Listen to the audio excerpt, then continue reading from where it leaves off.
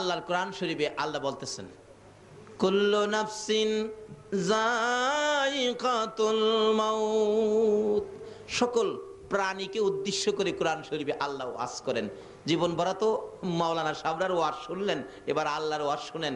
আল্লাহ সকল প্রাণীকে উদ্দেশ্য করে বলতেছেন, কোরআন শরীফে ওয়াজ করতেছেন, সকল প্রাণী একদিন মৃত্যুবরণ করতে হবে। তাহলে মহিলারাও মরবো কিনা বলুন তো? তাহলে মহিলাদের ওয়াজ শোনা দরকার আছে না? যারা এখন ঘুমাইরি চেহারার ভাগ্যটা ভালো না খারাপ। রাবিয়া বস্তি কি মহিলা ছিল না পুরুষ ছিল? রাবিয়া বস্তির তো মৃত্যুবরণ করেছে, কি বলেন, ঠিক নি? কিন্তু রাবিয়ার মৃত্যু, আর এই এলাকার মহিলাদের মৃত্যু এক হবে। রাবিয়া মৃত্যুবরণ করে কবরে শুইছে।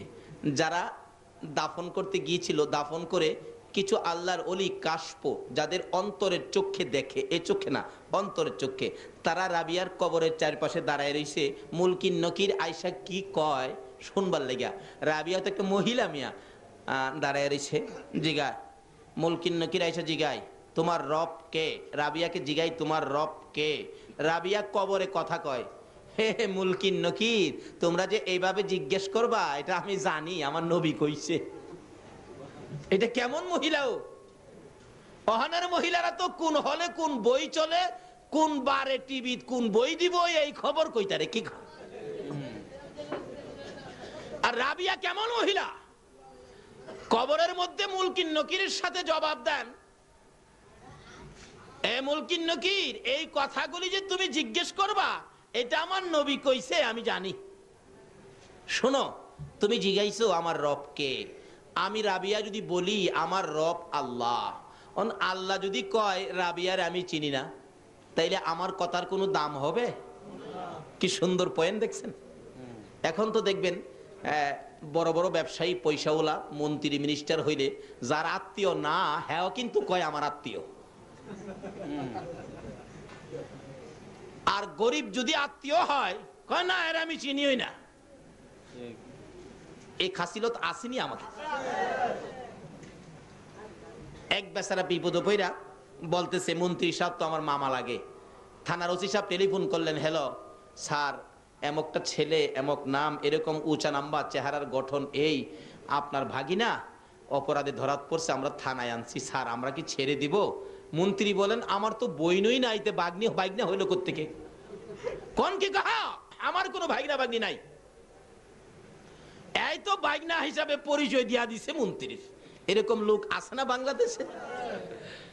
অহন আমি যদি পরিচয় দেই, আমার রব আল্লাহ। আল্লাহ যদি কয়, আমি চিনি না, তাহলে এই পরিচয়ের কোনো দাম আছে? রাবিয়া কয়, কবরে মুলকিন নকির, তোমরা যা জিগাইছো কথা রাইট, এটা তো জিজ্ঞেস করবার শুনেছি। এখন তোমরা তো জিজ্ঞেস করেছ, আমার রব কে? আমি রাবিয়া যদি বলি, আমার রব আল্লাহ। আল্লাহ যদি বলে, আমি রাবিয়াকে চিনি না, তাহলে তো আমার এই কথার কোনো দাম নাই। তাহলে কি করব? ক- আমারে না জিগাইয়া আমার আল্লাহরে জিগাও, আমি কে? আল্লাহ যদি স্বীকার করে, আমার কোনো ব্যাপারে, তাইলে এটা রাইট হবে, আল্লাহর কথা রাইট। আসতে বললেন। এই জাতীয় মহিলা পাওয়া দুই চারজন চট্টগ্রামে। তাইলে আজকের ওয়াজ শুনে মহিলারাও এই জায়গায় যাওয়া দরকার আছে। বিদায়, অনুরোধ করব মা বোনদেরকে, বাচ্চাদেরকে পিঠে থাপ্পড় দিয়ে ঘুম পাড়ায়া দুইটা কোরআন হাদিসের কথা শোনো, কারণ তুমিও তো মৃত্যুবরণ করতে হবে। নাকি মহিলারা মরে না? না মরলে দরকার নাই। কিন্তু আল্লাহ তো বলছে সকল প্রাণী মরবে, মহিলাদেরকে ছাড়বে না। কি বলেন, ছাড়বে।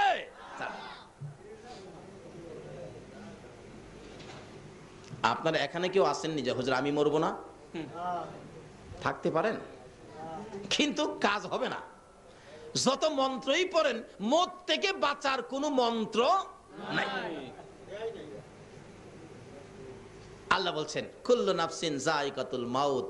সকল প্রাণী মরতে হবে। তাইলে আমরাও একদিন মরতে হবে। মহিলারাও মরতে হবে। তাহলে মহিলাদেরও ওয়াজ শোনা দরকার আছে, খালি ঘুমাইলে হবে না। রাবিয়া বসরি এই অবস্থার মধ্যে জিজ্ঞেস করলে আল্লাহরে জিগান, আমি কে? আমার কথার তো দাম হবে না, আমার আল্লাহর কথার দাম হবে। আল্লাহ ডাকে আরে রাবিয়া তো আমার বান্দি, আই ফোর, আয়। রাবিয়ার কাছ থেকে জবাব নিতে হবে না। জবাবের দরকার পড়লে আয় আমার আমি আল্লাহর কাছ থেকে নিয়ে যা। আচ্ছা, এটা কেমন মহিলা? ও? আরেকটা মহিলার জবাব আমার আল্লাহ দিয়েছেন। বলব বলব? নাকি কষ্টই আছে আপনাদের? আগে মহিলাদেরকে কিছু দেয়া দেই নাকি? আরেকটা মহিলার জবাব আমার আল্লাহ দিয়েছে। সেই মহিলাটা হলো নবীর প্রাণ প্রিয় বিবি। মা খাদিজাতুল কুবরা রাদিয়াল্লাহু তাআলা। মা খাদিজা মৃত্যুর ভয়ে একদিন মৃত্যুর স্মরণ করে খুব কাঁদতেছেন।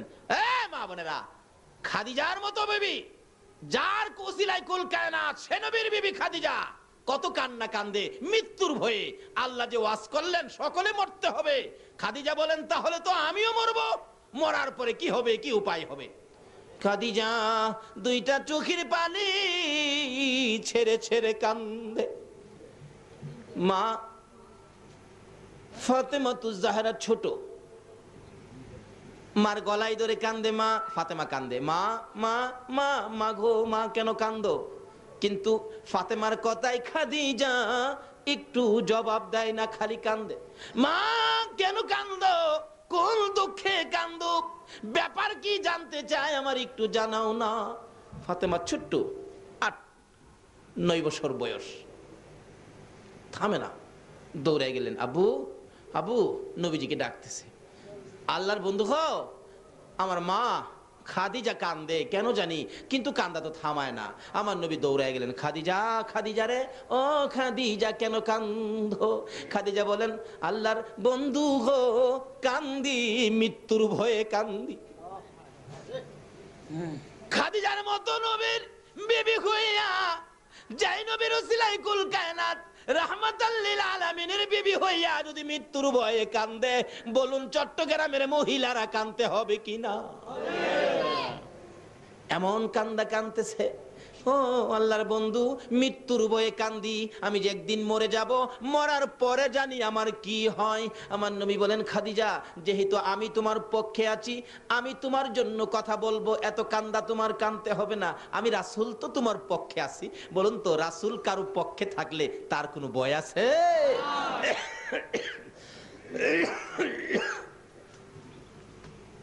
আচ্ছা কান্দা থামাও। হুজুর, আমার কান্দা তো থামতে চায় না, আমার কান্দা তো থামে না। তবে কান্দাটা থামবে। আমার তিনটা কথা যদি আপনি রাখেন। কি কথা? এক নম্বরের কথা হলো, আল্লাহর বন্ধু আমি যদি মারা যায় আপনি আপনার একটা জামা, পাঞ্জাবি দিয়া আমি খাদিজারে কাফন করবেন। কেন? অনবী আপনাকে সৃষ্টি না করলে জগতের কিছু সৃষ্টি হতো না। আপনার জামাটা যদি আমার গায়ে দেখে ফেরেস্তারা আমার কবরে গেলে কিছুই কইতো না। নবীর প্রতি কত মহব্বত, কত ভালোবাসা। রাসুল মুস্কি মুস্কি হাসে, খাদিজা, এ কি বললা? হুজুর, এটার ওয়াদা দেন, রাখবেন কিনা? যাও যাও, ঠিক আছে। কারণ, বিবিকে তো রাসুল ভালোবাসতেন, কথাটা শুনে রাখলেন, ঠিক আছে আমি তোমার কথা রাখব। হুজুর, আরেকটা কথা কি? আমার যে কবরটার মধ্যে শোয়া দিবেন এই কবরের মাটিটা আপনি নবীর পিঠ মুবারক দিয়ে মাটিটা একটু মরাইয়া দিয়ে আসবেন। আমার শুয়াইবার আগে আপনি নবী আগে কবরটার মধ্যে শুইবেন। আচ্ছা ঠিক আছে। দুই নাম্বার। তিন নাম্বার হলো আল্লাহর বন্ধু আমাকে কবর দিয়া আস, সবাই তো আয়সা পড়বেন মুলকিন নকির জানি আমাকে কবরে কি প্রশ্ন করে, কি কথা জিগায় আমি তো এই প্রশ্নের জবাব দেওয়ার সাহস আমি খাদিজা রাখি না, ভয় করতেছে আমার, কাঁদতেছি। ও স্বামী, ও আল্লাহর বন্ধু, ও রহমতাল্লিল আলমিন, আমার তৃতীয় নাম্বার দাবি হলো, আমার কবরের পাশে আপনি বসে থাকবেন, সব বিদায়ী হয়ে যাবে মুলকিন নকিরের সোয়ালের জবাবটুকুন আপনি নবী দিবেন। রাসুল বলেন, যাও, তোমার তিনটা কথার ওয়াদা দিলাম, আমি তোমার তিনটা কথা রাখব। খাদিজা দুনিয়ার থেকে বিদায় হলে গোসল দিয়ে নবীজির পাঞ্জাবি দিয়া কাফন করেছে। কি ভাগ্য!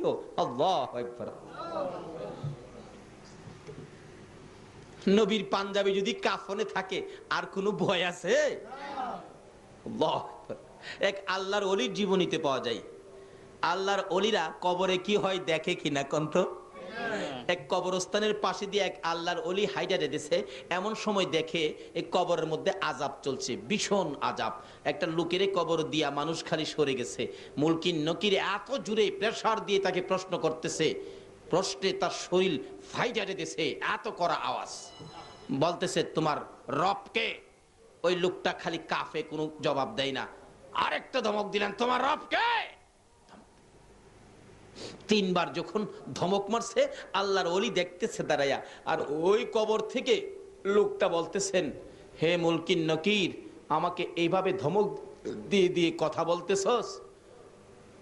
তুই আমারে চিনস? আমি তো আখিরি নবীর উম্মত। আর কোনো আমল নাই। আমার মুখে নবীর সুন্নত সাদা দাড়ি দেখছস? এই লোকটা বলতেছেন আমার কিচ্ছু আমল নাই, কিচ্ছু আনতে পারি নাই। আমাকে যে ধমক দেস, আমার মুখের মধ্যে তো নবীর সুন্নত আছে। যেই নবী না হইলে তুই হতি না, কিচ্ছু হতো না। আমার আমার তো কিছু নাই, কিন্তু নবীর সুন্নত, দাড়িটাটুকু আমার মুখের মধ্যে সাদা দাড়িটা আছে। এই নবীর সুন্নত দেখে তোর কি আমারে ধমক দিতে ভয় করে না? আমি না খারাপ, অন্যায়কারী। মুখের মধ্যে তো নবীর সুন্নত আছে, যে নবীর উসিলাই সব। মুলকিন নকির থম খাইয়া গেছে। কয় কি রে? খোদা গো, এ কি কয়? ধমক দিতে চায়, তোমার বন্ধুর দাড়ির দোহাই দিলে আমার আল্লাহ কয়, মুলকিন নকির রে, আমি যার খাতিরে এত কিছু করেছি, সেই বন্ধুর দোহাই যখন দিছে, আর কিছু দেখতে চাই না। এ দাড়িটার খাতিরে আমি তারে মাফ করে দিলাম, যা। এত বড় পাপিকে যদি নবীর শূন্য সাদা দাড়ির উসিলাই মাফ করে দিতে পারে, আর এই নবীর জামা মুবারক যদি খাদিজার গায়ে থাকে, বলুন তো মুলকিন নকিরের সাহস আছে কথা বলতে? একটা কিছু নিয়ে যান যেটা নবীর পছন্দের। কবরে যাওয়ার আগে একটা কিছু নিয়ে যান যেটা নবীর পছন্দের। আচ্ছা তিন কথা রাখলাম। জামা দিয়ে কাফন পরাইলেন। যে কবরে শোয়াবেন, রাসুল আগে নাইমা কবরকে বললেন, কবর, আমার বিবি খাদি যাইতাছে খুব ভয় পায় রে, খাদিজা খুব ভয় পায়। রাসুল বলে দিলে, বলুন তো, শুনবে কিনা দেখছেন, ঢাকা যাইব চট্টগ্রাম থেকে চাচা, ঢাকা যাইব তো, বাবা বলতেছেন, আব্দুল মন্নান আমার ছেলেটা ঢাকা যাইবো তো সাথে নিয়ে যা। কারণ হ্যাঁ একা যাইতে ভয় পা, একা যাইতে ভয় পা, তুই সাথে নিয়ে যা। বলুন তো, চাচার কাছে যদি বাবাই বইলা দিয়ে আসে, বারবার খালি খেয়াল রাখতো না, বাতিজা খই ঠিক মতো আছে কিনা? তা আমার নবী বইলা দিছে মাটির কাছে। এ কবর, আমার খাদিজা রে, আমার খাদিজা কবরের ভয় পায় রে। ও কবরের মাটি, আমার খাদিজা কবরের ভয় পায়। আমি রাসূল বলে দিয়ে গেলাম, একটু খেয়াল রাখিস। শোয়াইলেন। মাটি দিলেন উপরে, মাটি দিয়ে কমপ্লিট করে রাসূল বলতেছেন, সবাই চলে যাও। কবরে মাটি দিয়া আমরা কি কবরের পাশে থাকি? একজন আরেকজনকে কি বলি আমরা? কবর ছাড়েন কবর ছাড়েন, তাড়াতাড়ি ছাড়েন, মূল কিন্নকির আসবে। আসলে আপনি ভাববেন না, কবর ছাড়লে আসে। কবর যদি নাও ছাড়েন, তবু মূল কিন্নকির আসবে। রাসূল বলেন সাহাবিনা রে, কবর সারো তোমরা কবর সারো সাহাবিরা কবর থেকে দূরে যায়। আমার চোখের পানি ছেড়ে ছেড়ে কবরের দিকে আগায়। সাহাবিরা বলেন ইয়া রাসূলুল্লাহ আমাদের কি দূরে সরাইয়া আপনি কেন কবরের পাশে আগাইতেছেন? আমার নবী বলেন সাহাবিরা রে তোরা যা রে আমার খাদিজার সাথে আমার কথা ছিল মুলকিন নকিরের সোয়ালের জবাব আমি রাসূল দিব। মুলকিন নকিরের সোয়ালের জবাব দিতে আমার খাদিজা ভয় পাই আমি কথা দিয়েছি খাদিজার সাথে রে। মুলকিন নকিরের সোয়ালের জবাব আমি রাসূল দিব, তোমরা সরে যাও। সবাই সরে গেলেন, রাসূলের কথাই সবাই সরে গেলেন। আমার নবী খাদিজার মাতার পাশে, কবরের পাশে বসে আছেন। দুই মিনিট পার হয়ে যায়, চার মিনিট পার হয়ে যায়, পাঁচ মিনিট পার হয়ে যায়, আধা ঘণ্টা পার হয়ে যায়। মুলকিন নকির আসে না। বৈশাখ মুলকিন নকির কবরে কয়দিন পরে আসে? মাটি দেওয়ার সাথে সাথে সময় হলো, কবরের কাজ শেষ করে একটা মানুষ কবর থেকে চল্লিশ কদম দূরে যাইতে যে সময় লাগবে, এ সময়ের পরে কবরের কাছে মানুষ থাকলেও মুলকিন নকির আসবে। একবারে যদি সেনাবাহিনীর প্রধানকে পারমাণবিক বোমা দিয়া বসাইয়া রাখেন, তারপরেও মুলকিন নকির কবরে আসবে। কষ্ট হইতেছে ভাই সাহেব? আসছেন রাসুল বৈশারিসি কি ব্যাপার? আধা ঘণ্টা হয়ে যায়, এখনও মুলকিন নকির আসে না। আর কতক্ষণ বসে থাকব? সাহাবিরা তো দূরে দাঁড়ায়া কষ্ট পাইতেছেন। হাইরে, রাসুল বৈশারিসি কষ্ট লাগতেছে, রাসুল আসতেছে না। রাসুল হুজরাই যাবে আসতেছে না। ব্যাপারটা কি? ঘরে যাবে, আসতেছে না। এমন সময় আমার আল্লাহ কয়, জিব্রাইল, আমার বন্ধুরে যায় একটা খবর দেস না। আমার বন্ধুরে যায় কও না তাড়াতাড়ি বাড়িতে যাইতো জিব্রাইল আইসা বলেন হিয়া রাসুল আল্লাহ আল্লাহ সালাম জানাইছে আপনাকে। আমি জিব্রাইলও সালাম দিলাম হুজুর, এখানে বৈশা রইলেন জিব্রাইল রে। আমি তো খাদিজার সাথে কথা ছিল, মুলকিন নকিরের সোয়ালের জবাবটুকুন আমি রাসুল দেব। এখনও মুলকিন নকির আসতেছে না। হে জিব্রাইল, তুমি তো ফেরেস্তাদের সর্দার। বলো না, মুলকিন নকির কোথায়? কোন সময় আসবে? জিব্রাইল বলেন, ইয়া রাসূল আল্লাহ বাসায় চলে যান। হুজুর, মুলকিন নকিরের সোয়ালের বয়ে আপনাকে খাদিজা ওয়াদা করাইছেন। আপনি মুলকিন নকিরের সোয়ালের জবটুকু দিবেন। আল্লাহর বন্ধু যেদিন খাদিজা এই কবরের ভয়ে মুলকিন নকিরের সোয়ালের জবের ভয়ে ওই খাদিজা যেদিন চোখের পানি ছেড়ে ছেড়ে কায়দা আপনাকে যেদিন জামিনদার বানাইলেন, আপনাকে যেদিন ওই প্রশ্নের জবাব দেওয়ার জন্য ওয়াদা করাইলেন, ওই দিন আপনার কষ্ট হবে বলে, আমার আল্লাহ, এই মুলকিন নকিরের সোয়ালের জবাব আমার আল্লাহ নিজেই আদায় করে দিয়েছে। দুইজন মহিলার সাথে, তারা তো মহিলা, কিন্তু কি কাজ করার পর এই পরিমাণ মর্যাদা কবরে গিয়া পাইলেন? কিন্তু সকল মহিলাদেরকে কবরে যেতে হবে কিনা বলুন তো? তাইলে আমরাও যাব, মহিলারাও যাবে। যাওয়ার আগে কি করতে হবে? আল্লাহ রাব্বুল আলামিন বলতেছেন, সকল প্রাণীর উদ্দেশ্যে সকল প্রাণী একদিন মৃত্যুবরণ করবে। আল্লাহ নিজে বলতেছেন, তাহলে এবার সকল প্রাণীর ওয়াজ শেষ।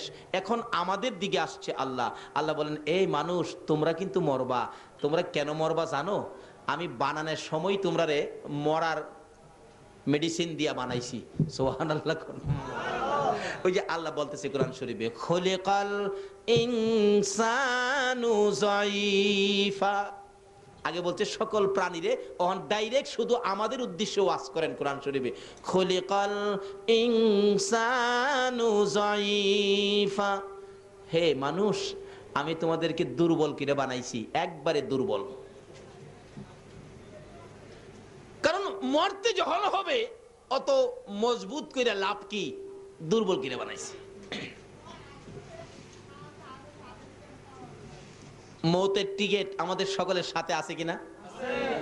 আচ্ছা, আজকে আপনাদের মাহফিলে আসছি এখানে। ফুটন্ত গোলাপ যুব সংঘের উদ্যোগে আয়োজিত মাহফিল। জিগান ছেলেদেরকে আমি বলছি যে আমি তো আসলাম আমার যাওয়ার টিকিট কাটো আগে। যাওয়ার টিকিট কাইটা নিয়ে আইছে। কালকে যাব আজকেই টিকিট কাটা। তা আমরাও যারা দুনিয়াতে আইছি মৃত্যুর টিকিট সকলেরই কাটা কিনা বলুন তো?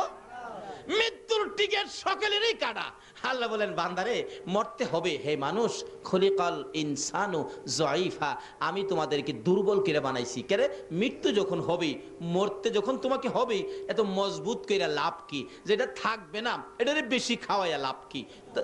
দুর্বল, মরতেই হবে। আল্লাহ বলতেছেন, খলিকাল ইনসানু জয়ীফা। আমাদেরকে উদ্দেশ্য করে, আমাদেরকে দুর্বল করে বানাইছে। আচ্ছা বলুন তো, আসলে আমরা দুর্বল কিনা? কি দুর্বল মিয়া? পুলিশে পারে না কন্ট্রোল করতে, মাঝে মাঝে আমাদের দেশে সেনাবাহিনী মোতায়েন করতে হয়। পুলিশে কন্ট্রোল করতে পারে কি? দুর্বল হইলে এখন আমরা তো দুর্বল না। আল্লাহ তো বলতেছে দুর্বল। আসলে তো আমরা দুর্বল না। আচ্ছা এখন কি আমাদের কথা রাইট হবে, নাকি আল্লাহর কথা রাইট হবে?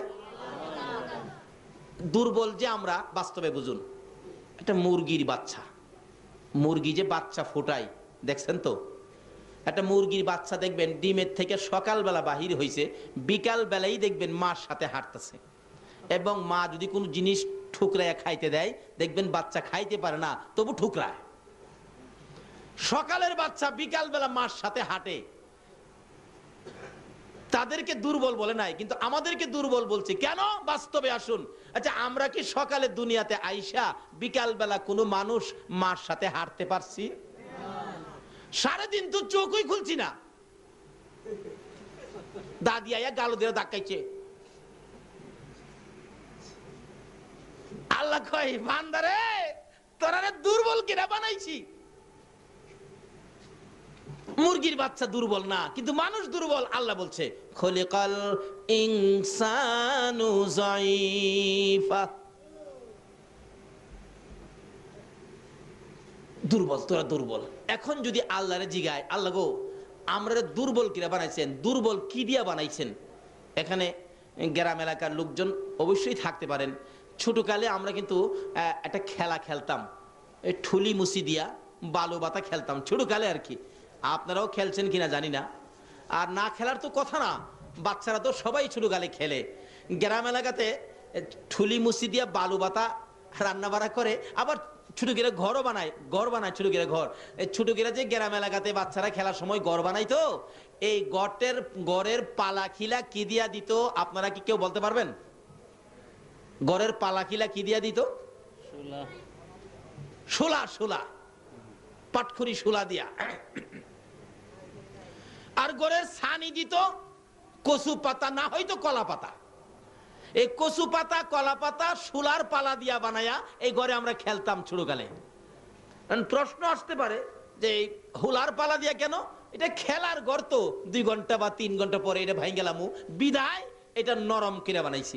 আচ্ছা আপনাদেরকে প্রশ্ন করলে যে ঘরটা কিছুক্ষণ পরে ভেঙে ফেলবেন, এই জন্য ঘরের পালা হইল শুলা পাটখড়ি দিয়া বানাইছেন, দুর্বল কিরা আল্লাহ বলেন, বান্দারে, তোমরা যখন যেটা ভাঙ্গা লাইবা দুর্বল কিরা হুলার ফালাদা বানাইছো।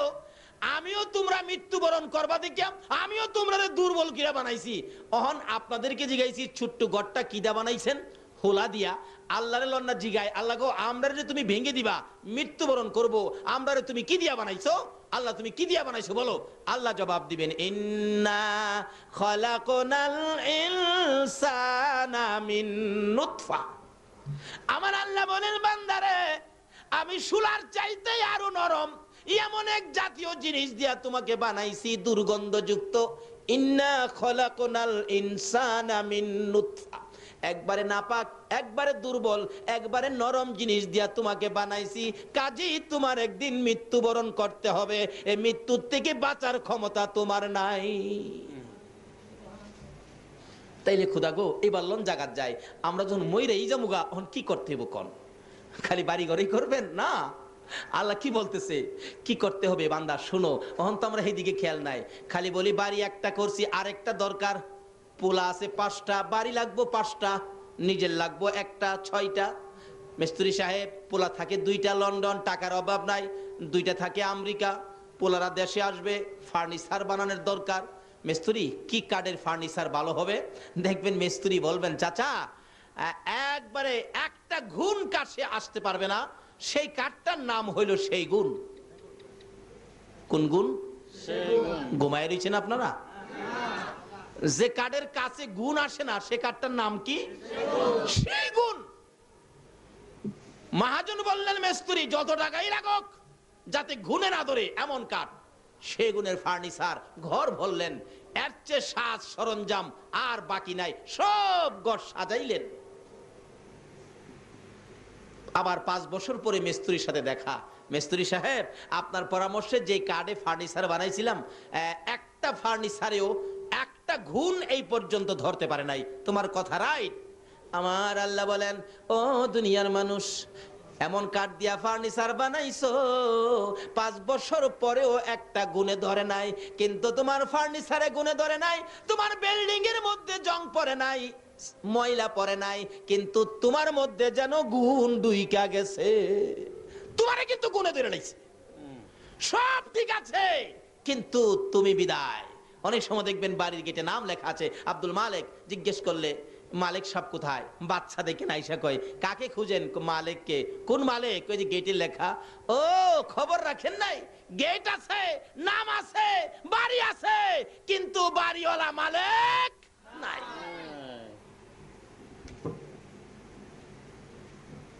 সব থাকবে, আমরা থাকব না। সে ওয়াজ কোরআন শরীফে আল্লাহ করতেছেন। কেন? বান্দারে, এত কিছু করলি, কিন্তু এই জায়গায় যাও, কোন জায়গা? তোমার যে মরতেই হবে, মরার মন্ত্র দিয়া তোমাদেরকে বানাইছি। তাহলে এখন আমরা কি করতে হবে? আল্লাহ গো, আমরা এখন কি করব? আল্লাহ আমাদের জবাব দিচ্ছেন।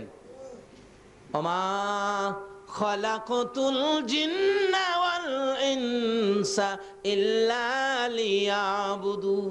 এই মানুষ আর জিন, শোনো, আমি তোমাদেরকে বানাইছি একটা কারণে। সে কারণটা হলো ইল্লা লিয়াবুদুন। তোমরা, আমি আল্লাহর আবাদত করবে। তাইলে আমরা মৃত্যুর আগে কি করার জন্য আল্লাহ বলছে বলুন তো? কি করতে হবে? সকলে বলতে হবে, কি করতে হবে? কার আবাদত করতে হবে? না, বুশের। মন্ত্রীর চেয়ারম্যান সাহেবের। কার আবাদত করতে হবে? আমরা বানাইছে কে? কোন আল্লাহ? যার জমিনে থাকি। যার আকাশ থেকে বৃষ্টি পায়া আমাদের হৃদয় ঠান্ডা হয় ফসলে বরকত হয় যার নদী নালা সাগর থেকে আমরা মাছ ধরে ধরে খাই লবণ উড়াইয়া খাই।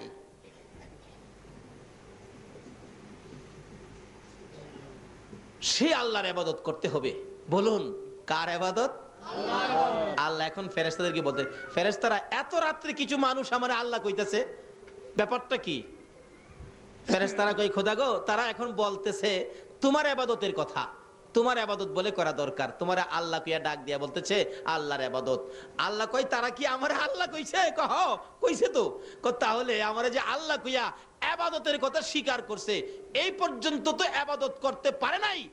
এই পর্যন্ত আবাদত না করার কারণে যা গুণা হয়েছে, এই যে আবাদতের জন্য স্বীকার করে আমাকে আল্লাহ বলে ডাক দিয়েছে, এই পর্যন্ত যা গুণা ছিল, আমি আল্লাহ সব মাফ করে দিলাম।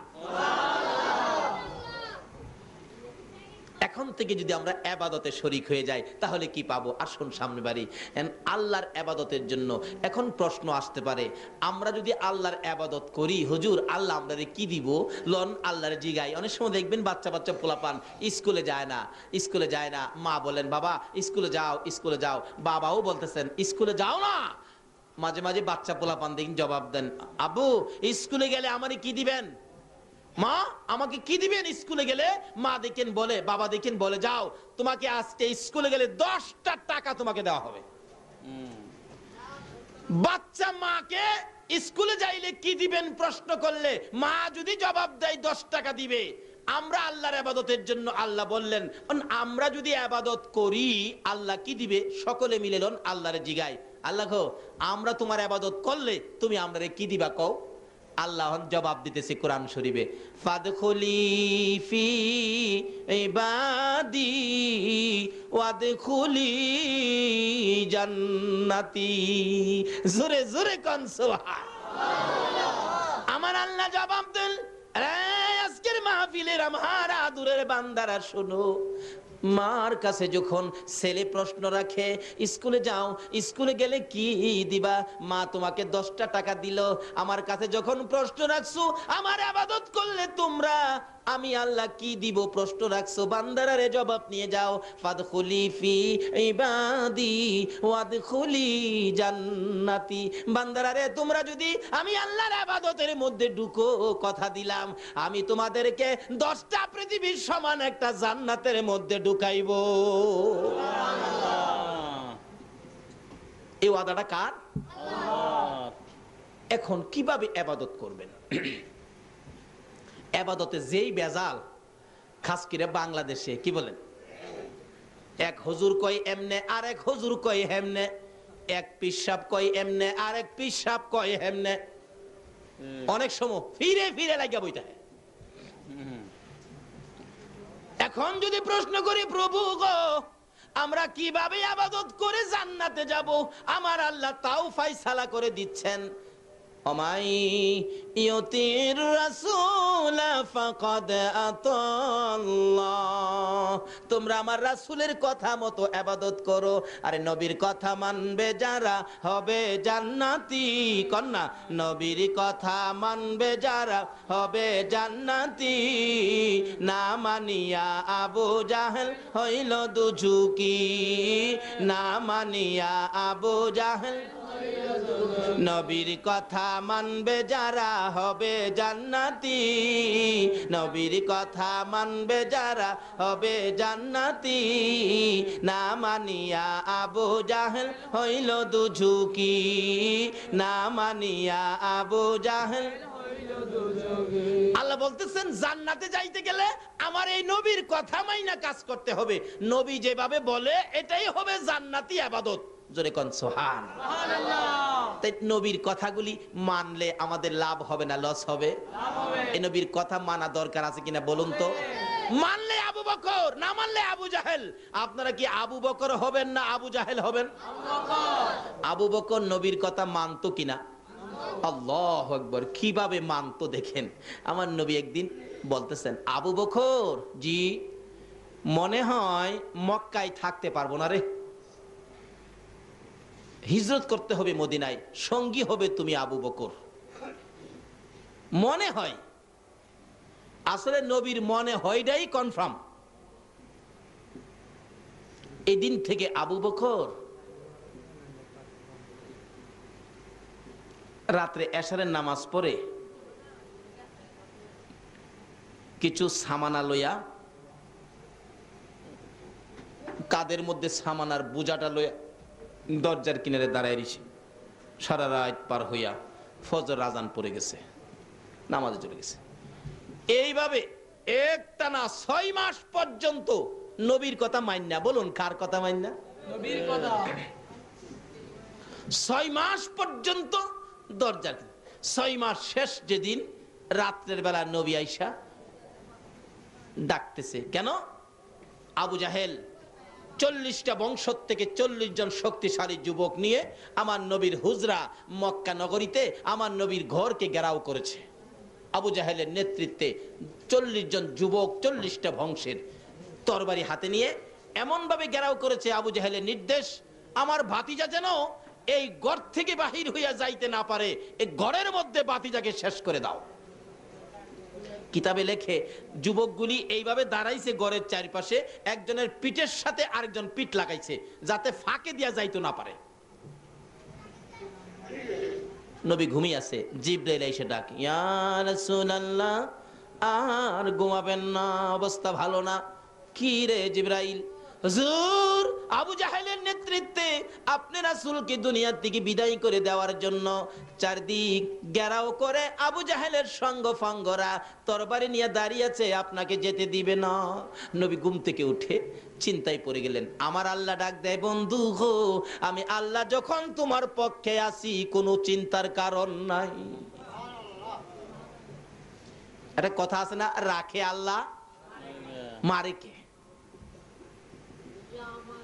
আচ্ছা জিব্রাইল আমার বন্ধুর হাতে এক মুষ্টি বালি দে, দিলেন। কোরআন শরীফের সুরাইয়াসিন থেকে একটা আয়াত বন্ধুর কানে খবর দে, দিলেন।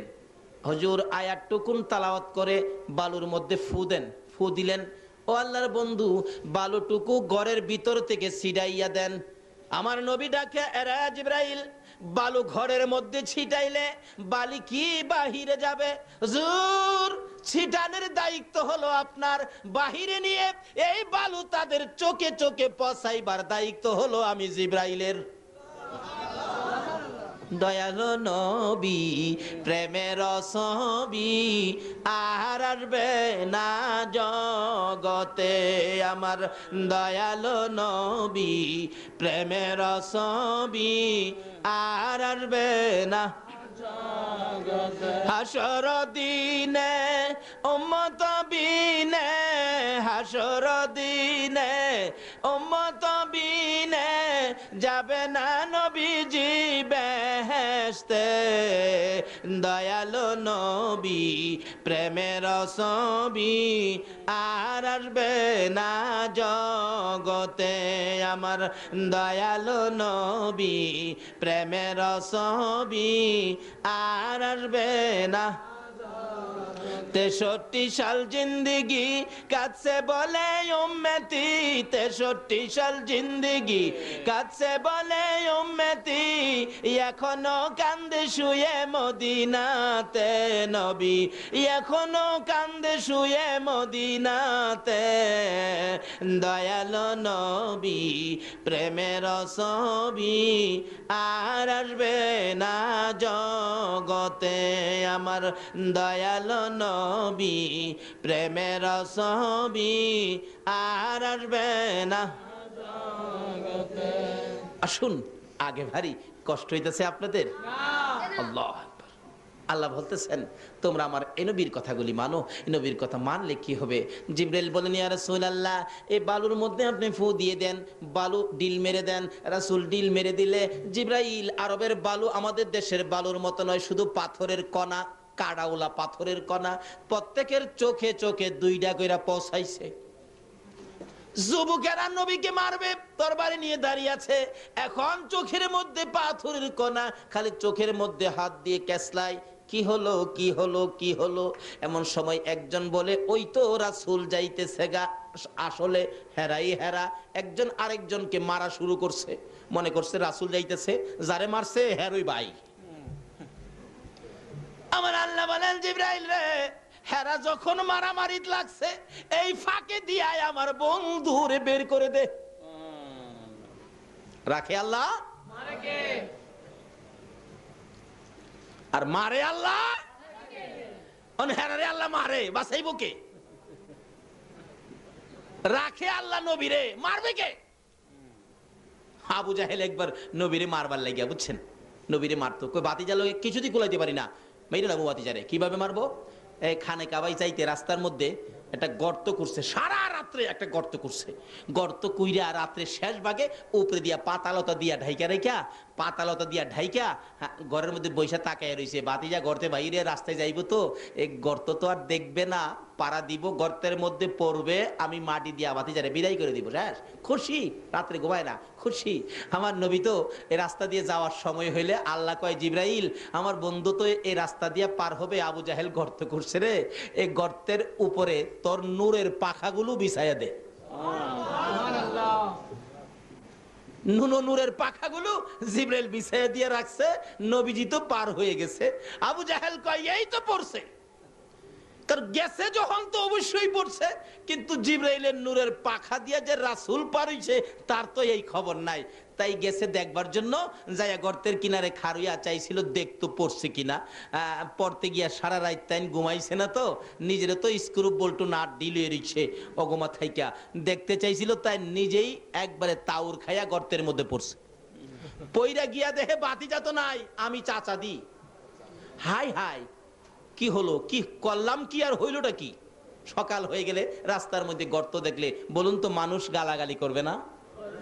হ্যাঁ? কোন হারাম জাদারে রাস্তার মধ্যে গর্ত করছে? আইসাই যেই দেহে, হেই গালি দে হারাম জাদা গর্তের কিনারে যায় দেহে সাদি হাই হাই, সাসা আপনি? আগে আমারে গালি দিয়া হন আবার সাসা কস। আল্লাহ কই তুই গালিও খাইবি, সাসাও শুনবি শত মানুষ চারদিকে গেরাও। হলো নাকি? গর্ত কোন কেন? ব্যাপারটা কি? কই কারও কাছে কইস না আমার বাতি জ্বালে গিয়া করছিলাম আল্লাহ কই কারও কাছে কইতো না আমি আল্লাহ কেমত পর্যন্ত হগলের কাছে কমু। কন্ত খালি আবু জাহেলের খবর কেন? আদম থেকে ঈসা পর্যন্ত সকল নবী রাসুলের কোন নবীর আমলে কি হইছে না হইছে আচ্ছা সকল খবর আমরা জানি কিনা কন্ত আমার নবী একদিন এই অবস্থায় চোখের পানি ছাইরা বলতেছে, "আয় মাবুদ, আদম থেকে ঈসা পর্যন্ত সকল নবী রাসুলের কাহিনী আমার উম্মতে জানে। সকল নবী রাসূলের উম্মতের কাহিনী আমার উম্মতে জানে, সব আমার উম্মতে জানে।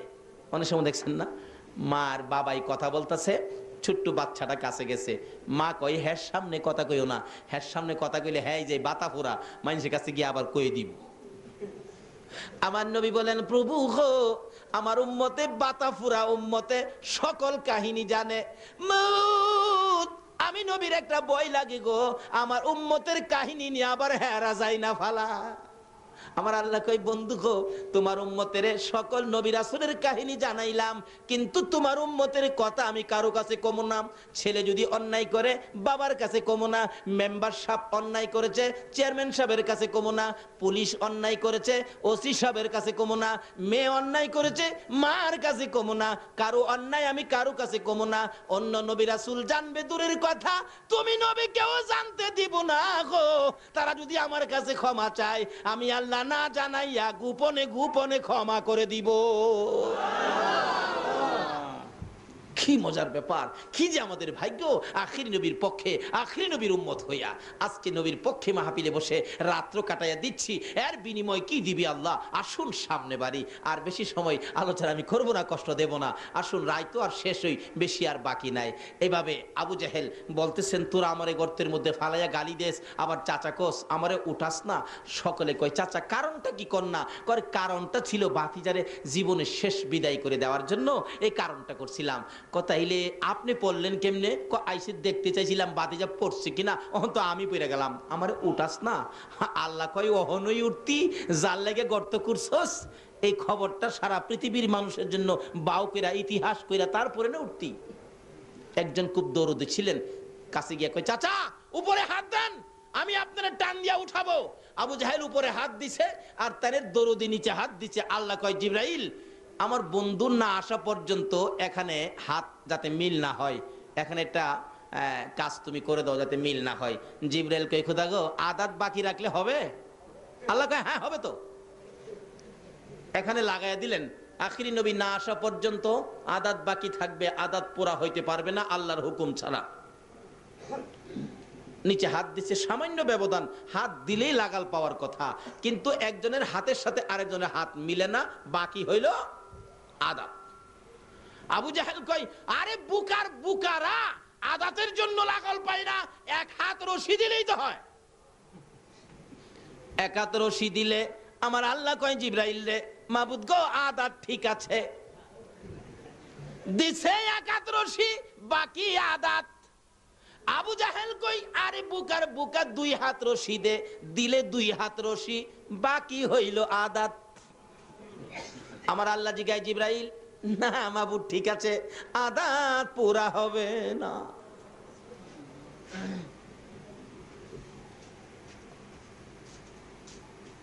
পুরা হয় না। কিতাব বলেন, দিতে দিতে সত্তর গজ, একশো চল্লিশ হাত রশি দেওয়ার পরেও আদা তার পুরা হয় না। দেখেন না, মাঝে মাঝে দোকানও লেখা থাকে, আজ নগদ কাল বাকি। এক বেচারা গরিব মানুষ চাউল কিনতে গেছে, দুই কেজি চাউল নিবে, বাচ্চা কাচ্চা কানতেছে। যাইয়া দেখে লেখা, আজ নগদ, কাল বাকি। আজকে যখন নগদ, বাকি আজকে দিবে না, কালকে দেখা যা বাকি দিবে। কালকে সকালে এসে নিব।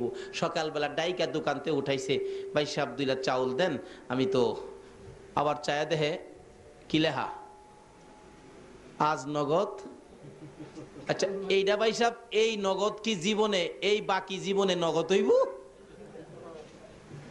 আল্লাহ কয়, জিব্রাইল বাকি লাগাইছি, আল্লাহ বাকি লাগাইছি আদাত সত্তর সত্তর গজ রশি দেওয়ার পরেও আধা তার পোড়া হয় না। এবার কি করতে পারি, কি করতে পারি? অহন অবশেষে নিচ থেকে আবু জাহেল উপরে তাকাইয়া ডাকে তোরা কারা রে? আর রশি দিস না, আর মাটির নিচে নিস না। মাটির অবস্থা ভালো দেখা যায় না। মন বলে মাটি আমাকে ধরে ফেলবে, আর রশি দিস না। আমার বাতিজা কই রে? আমার বাতিজা সারা উঠাইতে পারবি না। একজনে দৌড়ায় যায়, ইয়া রাসূলুল্লাহ, আপনার চাচা সত্তর গজ মাটির নিচে। আমরা যদি হইতাম তাহলে কি করতাম বলুন? সত্তর গজ? দুই চারটা পাথর উপরেতে ছাইরা দে, শেষ হইয়া যাক, বহু জ্বালা জ্বালাইছে। দয়ারে নবী মায়ার নবী, এত কষ্ট যে নবীকে দিল আবু জাহেল চাচা হইয়া। আমার নবী চাচা বিপদে গর্তের মধ্যে খবর পাইয়া চট করে ঘর থেকে বেরিয়ে যাইতেছে। গর্তের কিনারে যাইয়া ডাকে, চাচা গো, এ গর্ত তুমি কার জন্য করছ? এবার জবাব দেন বাতিজা আগে গর্তের উপরে ওঠাও বলব। আমার নবী বলেন, চাচা গো, আমি যখন আসছি নিশ্চয়ই তোমারে উঠাবো। বলো, এই গর্ত কার জন্য করছ? আবু জাহেল বলেন, বাবা, রাগ হইও না। এ গর্তে আমি তোমার জন্য করছি। আমার নবী দুইটা চোখের পানি ছেড়ে ছেড়ে কান্দে, চাচা চাচা গো, এইভাবে আর কত আমার সাথে দুশ্মনী করবা? তুমি না জানো আমার মা নাই, আমার বাবা নাই। তুমি না নিজে আমাকে একদিন ছোটকালে জংলার কিনার থেকে নিয়ে আসছো? নবীজির বয়স যখন ছয়ের কম কম ছিল, একদিন বাবার ব্যথায় কানতে কানতে সন্ধ্যার দিকে বাঘ বাল্লুকের জংলার দিকে আমার নবী রওনা হয়ে যায়। যাইতে যাইতে যাইতে যাইতে জংলার কাছাকাছি যায় কানতে কানতে, বাবা বাবা কইয়া কান্দে, আব্বু আব্বু কইয়া কান্দে। আবু জাহেল কোত্থেকে যেন আসতেছিলেন গুড়া চালাইয়া, কাছে আইসা দেখে বাতিজা কান্দে দৌড়ে পিছি পিছি যাইয়া ডাকতেছে, বাবা মোহাম্মদ, আর সামনে যাও না। আর একটা কদম সামনে যদি যাও, জঙ্গলার বাঘ তোমাকে খেয়ে ফেলবে। হ্যাঁ যা যা। তুমি না নিজে দেখেছ? আমি বাবার ব্যথায় কান্দি। আর তুমি আমাকে উঠাইয়া আমার মার কাছে পৌঁছে দিয়ে না বলেছিলা। আমি না রে, আমি যদি না দেখতাম তোর সন্তানকে জংলার বাগে খেয়ে ফেলতো। আমার মা আমি না তোমাকে কি বলেছিল? আমি না এই খবর পাইয়া জবাব দেন, রে আবু জাহাল, না না, আমার এই সন্তানকে জংলার বাগে খাইতে পারবে না। রে আমি না তুমি কেমনে জানো খাইতে পারবে না? আমেনা বলেন আবু জাহেল রে আমার এই সন্তান যেদিন আমি আমেনার পেটে ছিল রে একটা জংলার বাঘ আইসা আমাকে কানে খবর দিয়েছিল। আমেনা গো তোমার পেটে রাহমাত আলামিন গো আমেনা জংলার বাঘ আমার পায়ে সালাম করে বিদায় হয়ে গেছে। আবু জাহেল যেই নবী পেটে থাকার সময় জংলার বাঘ আমাকে খবর দিয়া সালাম করে যায়, এই শিশু নবীর জংলার বাঘে খাবে না। শুধু তাই নয়, আমি একদিন এই নবীকে পেটে লইয়া পেটে থাকা অবস্থায় মাটির কোয়ার থেকে পানি উঠাইতে গিয়েছিলাম। ষাট সত্তর ফিট নিচে পানি, আমি বালতির মধ্যে রশি লাগাইয়া পানি উঠাবো। কুয়ার পারে গেলে কে যেন সাফা পর্বতের উপর থেকে ডাকতেছে, জিব্রাইল রে! ও জিব্রাইল আমার বন্ধুর মায় আমি না। পানি উঠানোর জন্য কুয়ার পারে দাঁড়াইছে রে আমার বন্ধুকে পেটে লইয়া রে জিব্রাইল। এত নিচ থেকে আমার বন্ধুর মায় আমি না। বন্ধুরে পেটে লইয়া যদি পানি উঠাই রে জিব্রাইল আমার বন্ধুর মার কষ্ট হবে। আমি না আর বালতিওয়ালা রশি নিচে সারবার আগে রে জিব্রাইল নিচের পানিগুলি উপরে উঠাইয়া দে। না রে তকবীর। না রে রিসালা। আজকে আমরা সে নবীর উম্মত, নবীর প্রেমে রাত্র কাটাচ্ছি। কি যে বকশিস, কি যে পুরস্কার, এই তো সামনে আইসা গেছে। সংক্ষেপ আলোচনা, এর মধ্যে বিস্তারিত আলোচনা করলে কয়েক রাত্রের দরকার। এবার আমেনা বলতেছেন, ও বুঝেন আমার এই বাবারে জংলার বাগে ধরবে না, নিচের পানিগুলো উপরে উইঠা গেছে।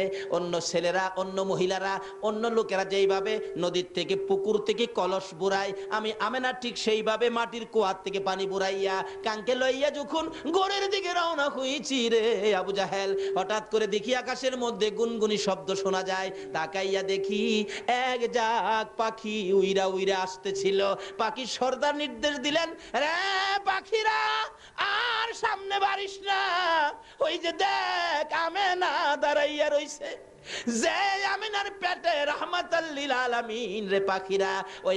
উপরে দিয়া উইরা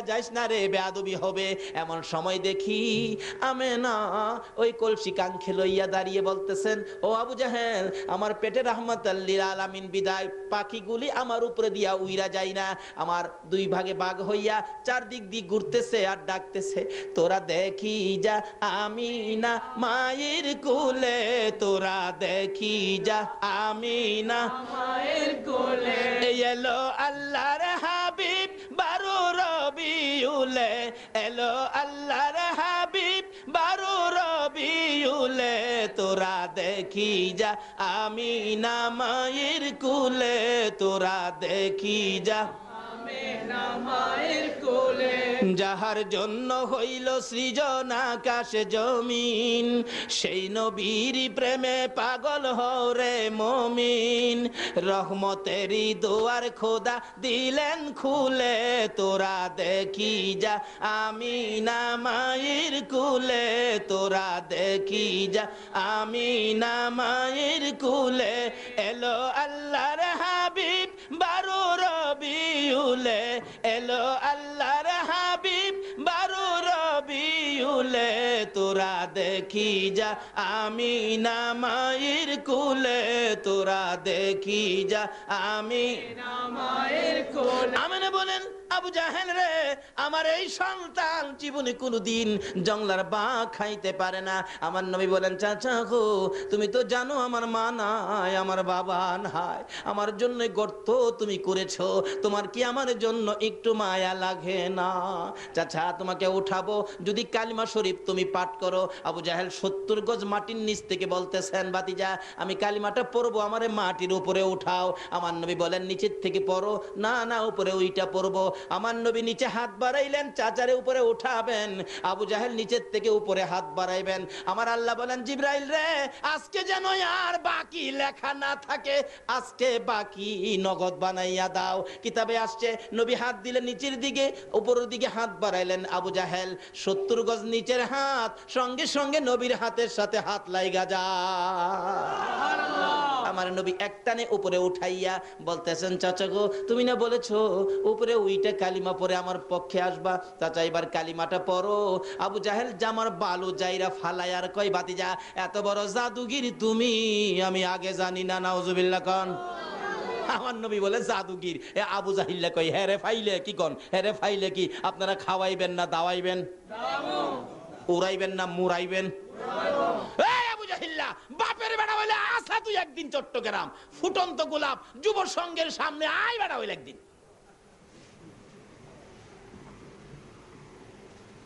কি যে কষ্ট কি যে যন্ত্রণা দিতেন আমার নবীকে। কিন্তু আল্লাহ রাবুল আলমিন বলতেছেন না এ- নবীর কথা মাইনা যা করবা এটা হবে জান্নাতি। মানতেন আবু বকর। বলুন কে মানতেন? আর মানতেন না কে? আবু জাহেল। ওই যে আবু জাহেল যুবকদেরকে নিয়ে গেরাও করেছে আমার নবীরে মাইরে লাইব। আর বাঁচাইব কে? এবার নিজেরা নিজেরা মারামারি লাগছে। কি যে মারামারিও মারতে মারতে একজন আরেকজনকে কুবাইয়া বিছাইয়া লাইতেছে। মাইরা ফাইট গড়াগড়ি কই, মাইরা লাইছি রে, মাইরা লাইছি। গলার আওয়াজে কই, কারে মারছস? কই, নবীরে মারছি। কই, আমি দি তোর বাতি জ্বালাগি আরে কই কি, চোখ খুললে দেহে হেরা হেরাই, আমার নবী গেছে। গভীর রাত্র, একা একা নবীজি যাইয়া আবু বকরের ঘরের দরজার সামনে, আবু বকর, একবার কাছাকাছি বাড়ি, নিজের চোখে দেখে আসছি, আল্লাহ দেখাইছে। আবু বকর, লাব্বাইকা এই কথা বলে চুপচাপ আবু বকর সন্তানের দিকে তাকায় না, বিবির দিকেও তাকায় না। আমার নবী আইসা পড়ছে, চুপচাপ দরজা খুলে না, আওয়াজ শুনলে বাচ্চা বিবির ঘুম ভেঙ্গে যাবে। আমার নবীর সঙ্গী হব, কারও কাছে বলব না, আজকে কারা গো, ঘরের দরজা বন্ধ করে মাহফিলে বসে আছে। আমার মন বলে, যারা নবীর প্রেমে এইটুকুন সময় দিয়েছেন কষ্ট করে, আবু বকরের সাথে মিলা যাবে ঘো। আবু বকর বিবির কাছে কয় না, বাচ্চার কাছে কয় না, কিতাবে আসছে আবু বকর, দরজাও খোলে না, আওয়াজ হবে বিদায়। আস্তে আস্তে ওই বাহির সাইটের একটা জানালার চুপ চুপ করে খুললেন। জ্বালানা খুইলা বাহির হইয়া নবীর সামনে যাইয়া হাজির। ইয়ারসুল্লাহ চলুন কি করতে হবে? আবু বকর বলেন আমি নবীর চেহারার দিকে তাকাইয়া দেখি গো, আমার নবীর চোখ থেকে জর্জর করে পানি পড়তেছে। হুজুর! আপনার কি কেউ আঘাত করেছে? না রে আবু বকর কেউ আঘাত করে নাই। হুজুর, আপনারে কি কেউ গালি দিয়েছে? না রে আবু বকর কেউ গালি দেয় নাই। হুজুর, তাহলে এইভাবে চুকির পানি ছেড়ে ছেড়ে কেন কান্দেন? আমি জানতে চাই গো আল্লাহর বন্ধু। আমার নবী পিছনের দিকে ফিরা ফিরা কয়, আবু বকর রে, এই রে আমার মায়ের দেশ। হে আমার বাবার দেশ। আজকে আবু জাহেলের যন্ত্রণায় মায়ের দেশ বাবার দেশ সাইরা মদিনায় যাইতে আমার মায়া লাগে। দেরি করা যাবে না, চল। ওই তো শত্রুর শব্দ শোনা যায়। চল, তাড়াতাড়ি যায় এবার আবু বকর আমার নবীর কথা মানে। বলুন, আবু বকর কার কথা মানে? হুজুর, চলুন। একটু চলে গেলেন পিছন দিয়ে আবু জাহেলের নেতৃত্বে। বালু মাটি ছিল। বালু মাটির মধ্যে পায়ের দাগ দেখে দেখে আবু বকরের বাড়ি পর্যন্ত আসলেন আবু আবু জাহেলের নেতৃত্বে। ও সঙ্গীরা, যুবকেরা, এই দাগ দেখে দেখে চলো আমরা যাইতে থাকি। কারণ এই রাস্তায় তো কোনো মানুষ কোনোদিন হাঁটে না, দাগ পাওয়া যাবে না।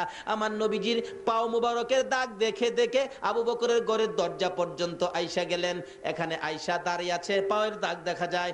দাগ দিলেন নিশ্চয়ই ঘরের মধ্যে আছে, দরজা যখন বন্ধ ডাক দিলেন দরজার মধ্যে আবু জাহেল। ডাক দিলে একজন মেয়ে, বাচ্চা মেয়ে জবাব দিলেন, যার নাম আসছে আবু আবু বকরের মেয়ের মধ্যে ছোট ছিলেন মেয়েটা, যার নাম হলো হজরতে আসমা। আসমা বলেন, কে তোমরা এত রাত্রে ডাকো? আবু জাহেল বলেন, দরজা খুলে দাও, এই ঘরের মধ্যে মোহাম্মদ ঢুকছে। বাচ্চাটা বললেন না না, এই ঘরে কোনো মানুষ নাই। এই ঘরে আমার বাবারেও পাওয়া যায় না। দরজাটা খুলে দিলে আবু জাহেল ডাকে, এদিকে আয় আসমা, এদিকে আয়। তোর বাবা কোথায়? বলতে পারি না। আখিরি নবীর সঙ্গী হইয়া বুঝি চলে গেছে, তাও বলতে পারি না। কোন দিকে গেছে, তাও বলতে পারি না। বাচ্চা মানুষ ঘুমিয়েছিলেন। ডাইকা ডাইকা, কাছে আই না গো। আবু জাহেল নিষ্ঠুর পাশান ছোট্ট মেয়ে বাচ্চাটার দুইটা গালে এত জোরে দুইটা থাপ্পুর মারছে। কানের পর্দা ফাইটা, বাবা গো বাবা গো, কইয়া জমিনে পড়ে গেছে। জমিনে পটে গলাগাটা মুরগির মতো লাফাইয়া লাফাইয়া কান্দে। এ কান্দার আওয়াজ আবু বকরের কানে যাইয়া পড়ছে। আবু বকর ডাকে, হুজুর, বেশি দেরি করা যাবে না। আবু জাহেল আমার বাড়িতে আইসা পড়ছে। রাসূল বলেন, তুমি কেমনে জানো তোমার বাড়িতে আসছে? হুজুর গো, আবু জাহেল আইসা আমার ছোট্ট মেয়েটা, কলেজার টুকরা আদুরের মেয়েটা। আমার আসমাকে বুঝি মারছে? আমার আসমা মার খাইয়া বাবা বাবা কইয়া কান্দে। আমার নবী বলেন, আবু বকর রে তোর মেয়েরে যদি আবু জাহেল মারে, এখন কি তুমি মেয়ে বাঁচাইতে যাইবা নাকি রাসূলের পক্ষে যাইবা? আবু বকর বলেন ইয়া রাসূলুল্লাহ, আল্লাহর কসম করে বলি, আমার ফ্যামিলির সকল মানুষকে যদি আবু জাহেল মেরে ফেলে, আমি রাসূল ফালাইয়া যাইবো না। আমার আল্লাহ বলেন, আবু বকর রে, আমার নবীরে এত ভালোবাসা তুমি দিয়েছ। ও আবু বকর, আমি কথা দিলাম রে আবু বকর, তুমি আবু বকর জান্নাতে না যাওয়া পর্যন্ত আমি কারও কাউকে জান্নাতে যাওয়ার অনুমতি দিব না। সেই নবীর ভালোবাসা। দেন কিছু পাবেন, কি পাবেন? জান্নাতে যাবেন, আবাদত করবেন, নবীর দেখানো, নবীর কথা মতো আবাদত করতে হবে। আর কারও কথাই আবাদত করলে আমার আল্লাহ জান্নাত দেবে না।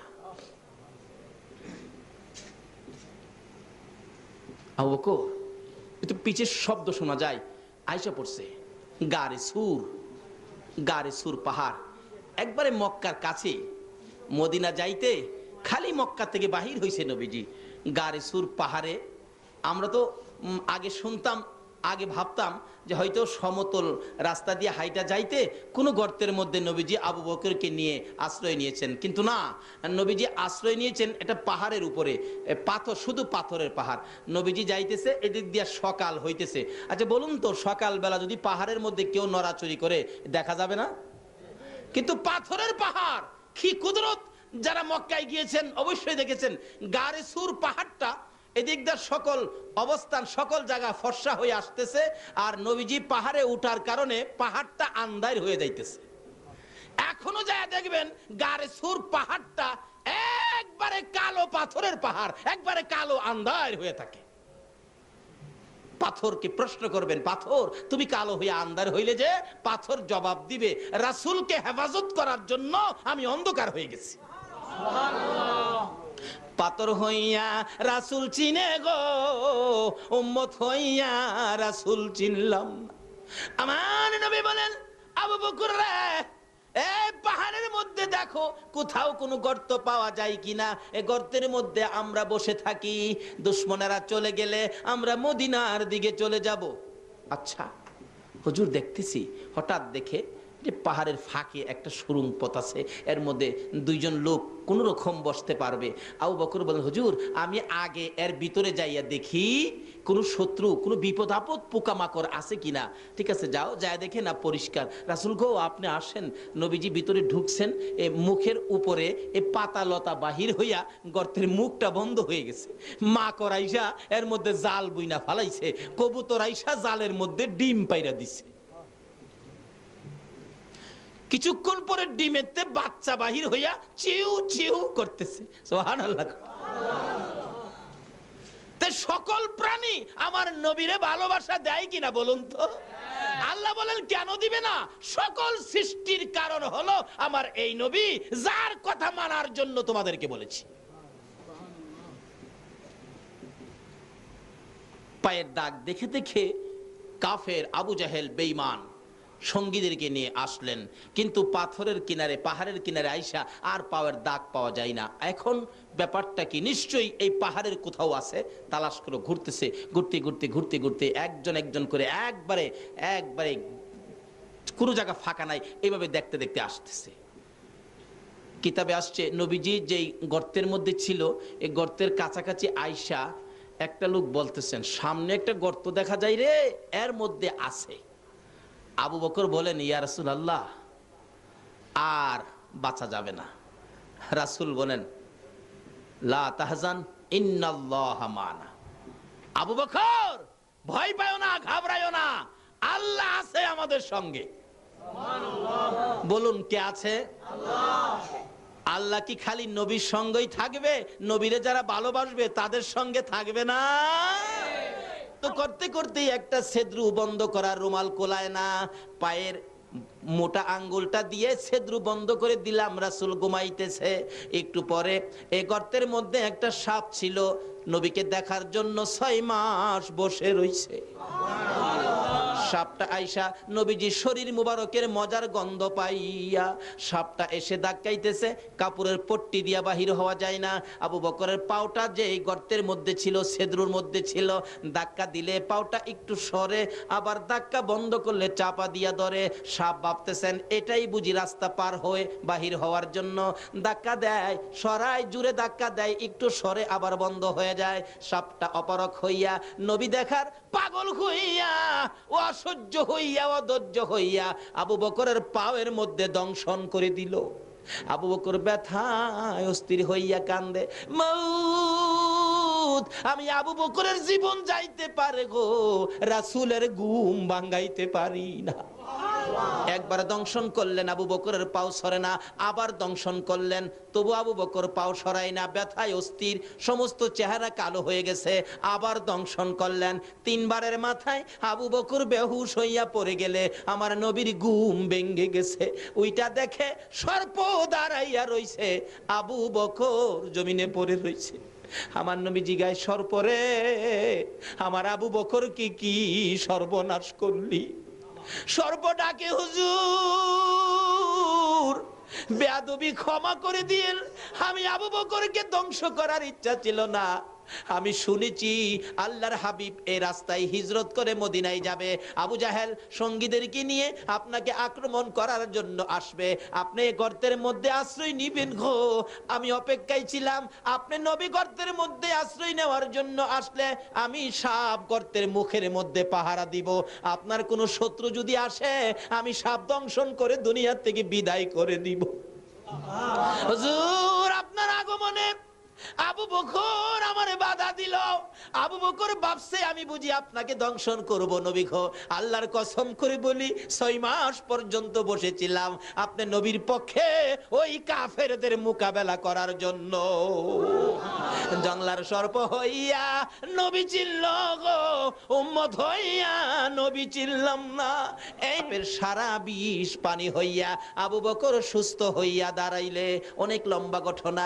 আবু বকর, চলো সন্ধ্যা হয়ে গেছে, মদিনার দিকে রওনা হই। যাইতে যাইতে যাইতে যাইতে আবু বকর নবীর কথা মতো হাঁটতে হাঁটতে দুদিন, তিন দিন হয়ে যায়। হঠাৎ করে আবু বকর ডাকেন, ইয়া রাসূলুল্লাহ, পেটের খিদায় আর হাঁটতে পারি না। হুজুর, কিছু না খাইলে আর হাঁটতে পারব না। আবু বকর বলেন, কই খাবি? এখানে তো কোনো বাড়িঘর নাই, শুধু মরুভূমি, কই খাবি? হুজুর, তাই তো, বাড়িঘর তো দেখা যায় না, খালি তো মরুভূমি, কই খাব? মানুষ পাইলে, বাড়িঘর পাইলে তো খাইতে পারতাম। আছে বাড়িঘর? আবু বকরকে হুজুর, নাই নাই, বাড়িঘর নাই। রাসূল বলেন, আবু বকর এদিকে আসো। এদিকে আসলে নবীজির এর ডাইন হাত মুবারক আবু বকরের চোখের মধ্যে এইভাবে লাগাইলেন। আবু বকর দেখো তো, এখন কিছু দেখা যায় কিনা? আগে কিন্তু মরুভূমি কিচ্ছু নাই। রবিজির বরকতের হাত লাগানোর পরে আবু বকর বলেন, তাকায়া দেখি সামনে একটা বাড়ি দেখা যায়। আগে বাড়ি নাই, এখন করতে আইলো। আল্লাহ কষ্ট হয় এ বকরির বাচ্চাটার মধ্যে দুধের ব্যবস্থা করে দাও। আমার আবু বকর দুধ খাবে আমি রাসূল দুধ খাব। দাবিটা করছে কে? এই নবীর কথা আমার আল্লাহ রাহেনিও। রাহেনি রাহেনি। সঙ্গে সঙ্গে আবু বকর বলেন ছোট্ট বকরির বাচ্চা মোটা তাজা হয়ে গেছে। সঙ্গে সঙ্গে দেখি বকরির মধ্যে দুধের জোয়ার আইসা গেছে। বকরির বাচ্চাটা বেমাইতেছে দুধের ভরে। আমার রাসূল বলেন, আবু বকুর রে, একটা দুধের বান্ড নিয়ে আসো। ডাকতেছে মহিলাকে, মা মা, একটা বান্ড দাও। মহিলা বলেন এই কি কারবার? জীবনে তো দেখি নাই। বাচ্চা বড় হলো, দুধ দিবে। বলুন তো, বাচ্চা দুধ নিজে খায়, এখন যদি দুধ দিতে পারে, এই বাচ্চার দুধের মালিক কি ইহুদি হবে? বাচ্চা দুধের মালিক কে হবে বলুন? রাসুল হবে। ওই দুধের বান্ড বালতি সহ ওই মহিলার কাছে পৌঁছাইয়া দাও। মহিলা দাঁড়াইয়া কি পাগলের খেলা, কি আর সহ্য খেলা। বান্ড দিলেন, বকরি দিলেন, বকরি যাইয়া খালি মহিলার দিকে তাকাইয়া থাকে। বুঝি বুঝাইতে চায় মহিলাকে বকরি নিজে। ও বকরির মালিক, জীবনে এই খেলা আর দেখছনি, এই নবীরে চিনতে পারছনি। আবু বকরের কাছ থেকে বান্ড বুঝে নিলেন মহিলা, খালি বকরির দিকে চাই, দুধের দিকে চাই আবার লোকগুলি যাইতেছে তাদের দিকে চায়। ঘরের ভিতর নিয়ে বকরিটারে বাইদা রাখলেন, কিতাবে আসছে এই বকরিটা এদিন থেকে নবীর দুয়ার বরকতে যে দুধ দেওয়া শুরু করেছে, একটা না তিরিশ বছর পর্যন্ত দুধ দিয়েছে।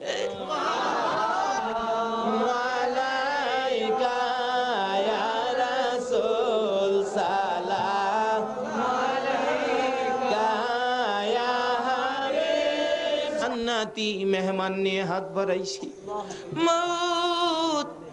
এত বড় রাত্র তোমার বন্ধুর প্রেমে কাটাইয়া দিছে। গাউসে পাকের স্মরণে মাহফিলে বসে এ রাত্র কাটাইয়া দিছে।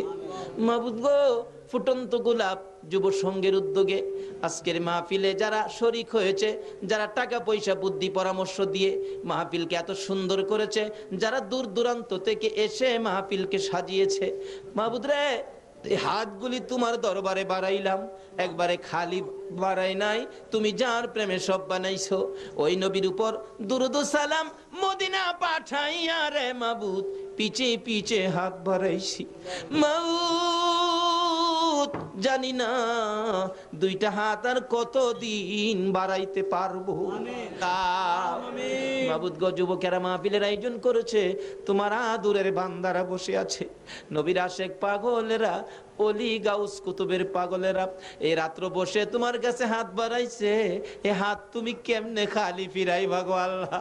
তোমারে আগে কো আমার মার খবর কি? বড় ভাইয়ের চোখের পানিগুলো জর্জর করে পড়তেছে, কোনো কথাই বলতে পারতেছে না। ডাকতেছে, আয়, গাড়িতে আয়। না, ভাই, মার খবর কো, মার খবর কয় না, কানতে কানতে জমিনে পড়ে গেছে। দৌড়া যাইয়া বাবার পায়ে পড়ে গেছে, বাবা গো, ও বাবা, ভাই, কিছু কয় না। তুমি বলো, আমার মার খবর কি? ইল্লাল্লাহু মুহাম্মাদুর রাসূল। সাল্লাল্লাহু আলাইহি